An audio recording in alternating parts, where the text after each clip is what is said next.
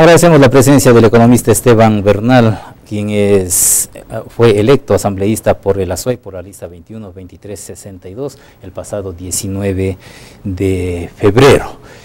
El asambleísta nos han solicitado un diálogo y precisamente es para hacer una valoración sobre los resultados que se dieron el pasado 19 de febrero, en la cual una mm, votación fuera de lo común se dio aquí en el Cantón Girón. ¿Cuál es la valoración que lo han hecho? Buenas, noches, Eloy. Buenas noches a todos quienes nos ven y nos escuchan a través de este medio de comunicación. Es un honor compartir con ustedes y decirle primero el agradecimiento a la provincia en su conjunto. ¿no? Yo creo que la provincia de la SUAY tuvo una respuesta con esta propuesta de la Alianza 21-23-62 que la lidera obviamente Guillermo Lazo como candidato a la presidencia y tuvimos la oportunidad con Lourdes Cuesta, quien también resultó electa porque tuvimos dos asambleístas de los cinco asambleístas de la provincia de la SUAY de nuestra tienda política. Y en ese contexto decía un agradecimiento profundo, pero particularizar el agradecimiento acá a este cantón. Yo he venido para hacer un agradecimiento personal a través de este medio de comunicación porque fue uno de los tres cantones que ganamos las elecciones. Aquí tuvimos una, superamos a la lista 35 y eso es muy significativo para nosotros. ¿A qué atribuyen ustedes esta ganancia? Bueno, a varios elementos. Lo primero, yo creo que también es una respuesta a la ausencia de un espacio legislativo que por primera vez, si no estoy mal, lo tenía el Cantón Girón, un espacio legislativo en una de las asambleístas que acompañó y que creo generó una desazón no solamente en el Cantón, sino a nivel nacional. Bueno, sí hubo un asambleísta hace, algún tiempo, ah, Barsalio. Ah, qué bueno, vea usted. Pero creo que también existe eso, algo que también se sintió en la provincia de la Suay, porque eh, la provincia como tal siempre ha estado acostumbrada a tener asambleístas que además territorialicen la acción del legislativo. Por ejemplo, recuerde usted al doctor José Cordero Acosta, un gran asambleísta que llegó a ser presidente del Congreso Nacional, fue diputado, antes eran diputados, hoy asambleístas, a Diego Monsalve Vintimilla, a Javier Muñoz Chávez, gente que más allá de su accionar legislativo, también realizaba actividades en el territorio. Y esa ausencia del sector legislativo de la provincia, porque ninguno de los cinco legisladores, por ahí quizá eh, la excepción de Osvaldo Larriba en el último año en donde tomó una decisión de dar un paso al costado del movimiento oficialista. Los demás se acantonaron en Quito y eso lamentablemente les distanció de una realidad política, realidad social y económica que vive la provincia de La Suay. Por ejemplo, le voy a poner un ejemplo en lo particular. Además que esta asamblea que pasó, ¿no? va a quedar para la historia como la asamblea más sumisa que ha existido en la historia de este país. Aprobaron, por ejemplo, la, el cambio a la normativa del Código de Planificación y Finanzas Públicas, particularmente el artículo 118. Se reforma ese artículo en donde se le permite al presidente de la República tomar recursos de los diferentes cantones, parroquias y provincias del Ecuador. Antes estaba prohibido, porque obviamente cuando se define un presupuesto, esos recursos eran intocables. Los recortes. Sí, señor, reforman este artículo y se hacen los recortes. ¿A quién perjudicó?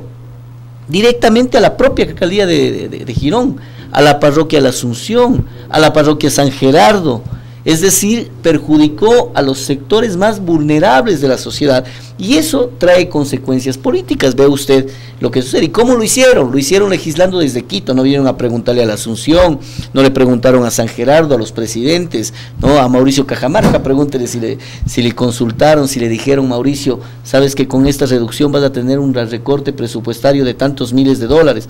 Hay un ejemplo palpable aquí cerca, en Santa Isabel, aquí en Cañaribamba en una parroquia que ya no le alcanza los recursos ni para pagar los sueldos de los cinco vocales electos.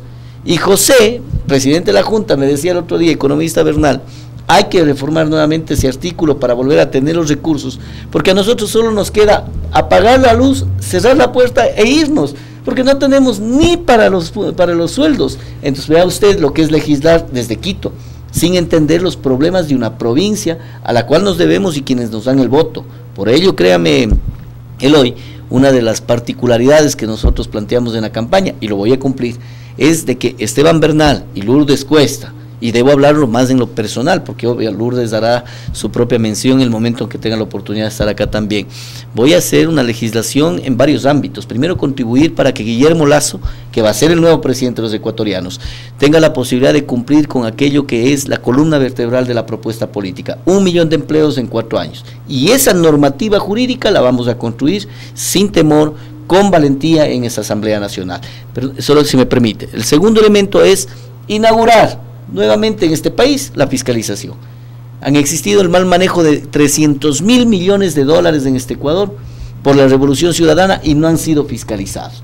Hay que entrar en fiscalización y finalmente la descorreización del Estado.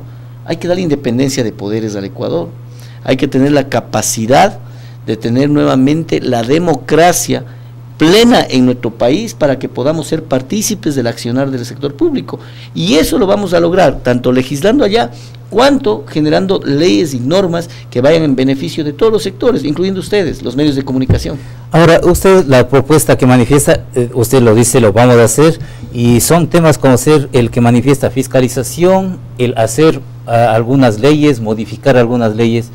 ¿Es posible hacerlo con una asamblea que mantiene una mayoría y que no es precisamente la que ustedes, eh, dentro de la cual están entiendo. Tienen 74 asambleístas, vea la perversidad del método, ¿no? Con apenas del 33%, 33% de votación legislativa a nivel nacional. Eso obtuvo Alianza País. Tienen el 54% de representación es decir, tienen la mitad más tres, creo, cuatro, son 69, más cinco, cinco asambleístas adicionales de la mitad del Parlamento.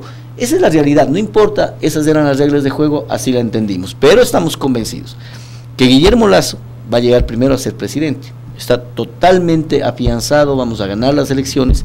Pero lo segundo, ese proceso parlamentario que se volvería cuesta arriba con 74 legisladores, que si actúan exactamente como los últimos, es decir, con una sumisión total, alineamiento dogmático de Alianza País, este, este país debe reclamar. Porque usted pregúntese si alguno de los legisladores de Alianza País no va a permitir que se bajen los 14 impuestos que ha planteado Guillermo Lazo.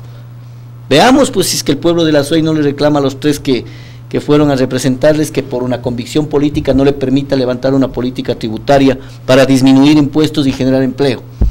Eso sería una aberración, una torpeza, ¿no? ¿Significa salir a las calles?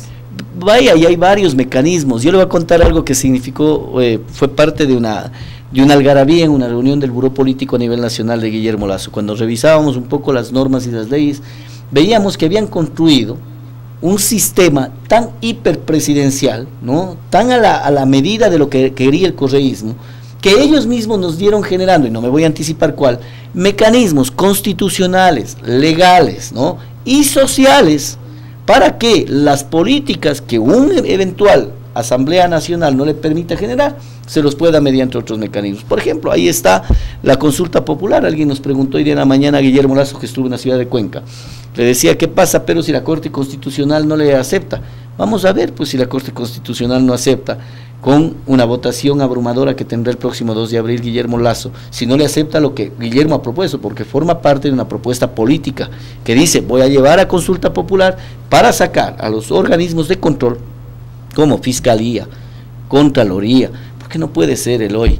Fíjese el país en el que vivimos, el Consejo de Participación Ciudadana, que de participación ciudadana no tiene nada, han sido una alcahuetería total al sistema de gobierno nacional, que coincidencialmente, pero escúcheme bien, coincidencialmente, ¿no? En los últimos 10 años no ha habido nadie más en el Ecuador que Carlos Poli para ser Contralor General del Estado. Y coincidencialmente, Carlos Poli es una persona vinculada al gobierno, que tapa todo lo del gobierno, y cuando va a los concursos de participación ciudadana, que lo hace el Consejo de Participación Ciudadana, solo él gana. No existe otra persona en el Ecuador que tenga una mente lúcida como Carlos eh, Entonces, ¿ustedes creen tener la figura legal para poder hacer estos cambios pero sin claro, la Asamblea pero claro, Y no necesariamente sin que pase por la Asamblea. Y le voy a decir algo que de pronto puede sonar muy fuerte y que tuve un reclamo en, Ondas Azuayas por la, la asambleísta Solís. Cuando yo dije, espere para ver quién gana las elecciones, ¿no? Porque en el momento en que Guillermo Lazo sea el presidente de la República tendremos la seguridad que muchos de esos asambleístas que están en este momento mediante alianzas con Alianza País seguramente redireccionarán su criterio, pero no con una actitud negativa, más bien por el contrario, porque entenderán que hay que construir. Yo no quiero pensar que los 74 asambleístas no quieran contribuir a un gobierno que quiere llevar adelante y salir de la crisis. Y estoy convencido que no serán solo los cinco que necesitamos, serán 10, 15, 20, 20, por ahí, cuidado, porque obviamente aquellos también son ciertos sectores de las bases de Alianza País que lograron ingresar a la Asamblea, que estuvieron bajo una propuesta de la lista 35, pero que también están cansados del sistema que agobia, porque también le agobia a su familia, le agobia a su pueblo, agobia a sus instituciones y lo que vamos a querer es mejorar la calidad de vida. Si usted le propone, porque la protestad constitucional de la reforma tributaria es del presidente de la República, ¿verdad? Entonces, si el presidente nos propone a la Asamblea para que nosotros aprobemos bajar 14 impuestos, y que el Congreso le diga no, válgame. No, no tiene la menor idea la explosión social que va a haber ahí si es que los asambleístas no le aceptan reducir impuestos. Entendería yo que no le acepten incrementar impuestos, pero no reducirlos. Ellos están hablando de que, ¿y qué va a pasar con las escuelas? Que no vamos a tener recursos para pagar. Esos son burdas apreciaciones, porque jamás este gobierno ha tenido gente que hay en su vida administrado ni un kiosco de jodó. Por eso no entienden el mercado. Entonces, si bajamos impuestos, mejoramos el nivel de producción y comercialización. Y al mejorar el nivel de comercialización, mejoramos la tributación. Y esto saca de la crisis al Ecuador. Ahora, retornando a la situación de Girón en cuanto a las elecciones, ¿Cree usted que tuvo peso la situación, los pronunciamientos en base a la minería, que también es algo que preocupa a la ciudadanía? Nosotros hemos sido claros, nosotros no nos salimos de nuestros esquemas, no nos salimos de nuestras propuestas. Hemos dicho con firmeza, y acá arriba, en los sectores de Loma Larga y Río Blanco, no se hará minería si Guillermo Lazo llega a la presidencia de la República. ¿Por qué? Porque nosotros no podemos arriesgar una sola vida por millones de dólares. Este país va a mejorar con Guillermo Lazo y se va a generar actividad económica, empleo, emprendimiento, pero no necesariamente a causa de la afección de lo más sagrado que tenemos. Apenas el 3% del agua en el mundo es dulce. Y tenemos la capacidad insensata de ir ahí mismo a poner una, un, sistema de, de minería. Y le voy a decir algo, no lo dice Esteban Bernal. No lo dice Paul Carrasco, no lo dice Doro Ordóñez nada más, no lo dice Guillermo Lazo, que además suscribió con Paul que no se hará minería en los páramos y en fuentes de agua. ¿Sabe quién lo dice? Lo dice una consultoría llamada BRGM. Esta consultoría es una consultora francesa que fue contratada por Etapa, la empresa de agua potable de Etapa. En la época de Paul Granda, del alcalde Granda de Alianza País, lo escondieron ese documento. Recién cuando Osvaldo Larriba se separa del bloque de Alianza País, entrega el documento. Que también le he criticado a Osvaldo, quien es mi buen amigo, y le dije, eso debieron haber entregado a, tiempo. Él dijo que no había tenido acceso. Sin embargo, esta eh, eh, consultora francesa, contratada por Alianza País, dice BRGM, pero clarísimo el hoy, que hay serios riesgos de que se contaminen las fuentes de aguas subterráneas.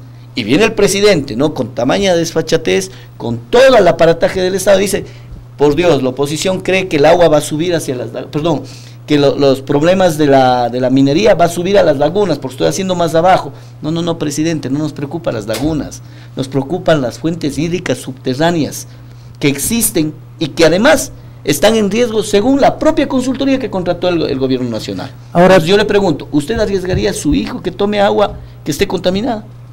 Le pregunto en lo personal, perdóneme generar una expresión así, pero es cuando a ti no te toca todavía, entonces no te preocupas.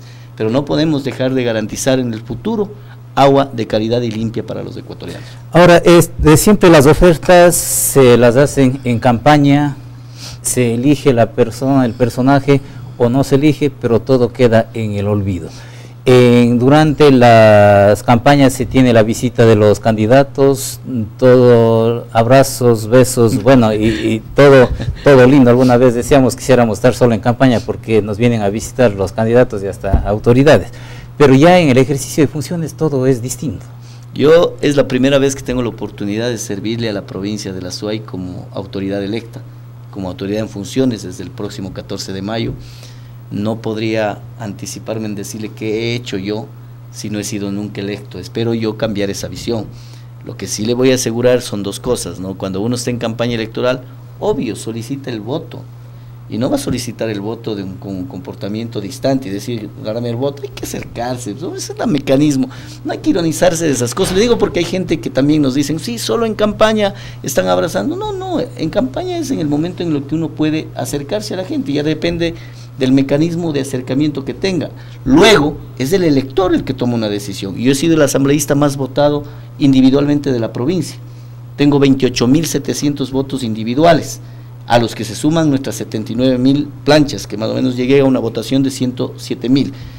Luego los otros asambleístas, por ejemplo, el asambleísta Albornoz tiene apenas 14 mil eh, individuales. Obviamente tienen 140 mil planchas, eso sí es muy grande y lo reconozco, por eso es que tuvieron tres asambleístas. Pero algún mérito han visto pues, en el candidato Bernal, que le dieron el primer lugar como votación individual. Lo que sí le aseguro es de que esos comportamientos son naturales, porque somos políticos y generamos, yo no tengo ningún empacho en decirlo, creo que hay que reivindicar el concepto de la política. Y lo que usted acaba de decir, yo aspiro el hoy, téngalo por seguro, de rectificar el pasado y tener la posibilidad de, al contrario, ratificar mi propuesta y trabajar desde el territorio, venir a rendirle cuentas a usted, que nos diga qué pasó con la ley de Provida que estoy planteando, que voy a plantearlo para que efectivamente se terminen las concesiones mineras, que no garanticemos un contrato económico con los chinos versus el peligro de nuestros hijos y nuestras generaciones. Lo voy a plantear, le contaré permanentemente a usted acá cuantas veces me invite. Vendré, creo que haré una agenda particularizada de ciertos días en que venga a la provincia, en donde visite a medios de comunicación y de los cantones, por supuesto, a los que me debo, porque además aspiro y quiero ser el asambleísta de los sectores rurales de la provincia. Bien, agradecemos, economista Bernal, su presencia y nosotros estaremos expectantes de lo que ocurra ya cuando ejerza la, em, la función de asambleísta. Muy amable, siempre a las órdenes. Gracias amigos, nosotros nos vamos a una pausa comercial, regresamos enseguida con más informaciones.